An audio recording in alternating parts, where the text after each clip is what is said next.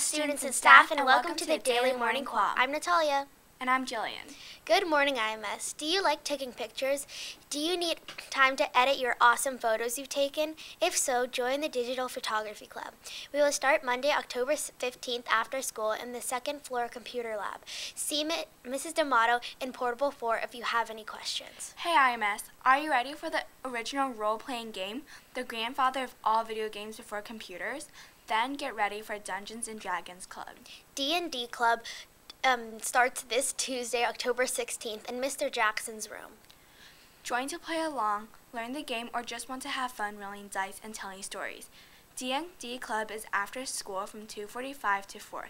Is it Tuesday yet? Now we have a short video about Tourette's syndrome. Hey kids, it's time once again to play everybody's favorite game, Looking for Cookies! Alright, the word this week is circumlocution. Circumlocution. And it means to talk around something or use too many words. Let's get to it, shall we? From the sixth grade hour winners we is Ian Kim.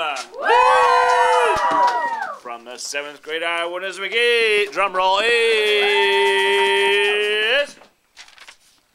Tessa Nickerson. And from the eighth grade hour winners we get drum roll is Gideon Stats. Way to go, everybody. And remember, you can't win if, if you don't play them out.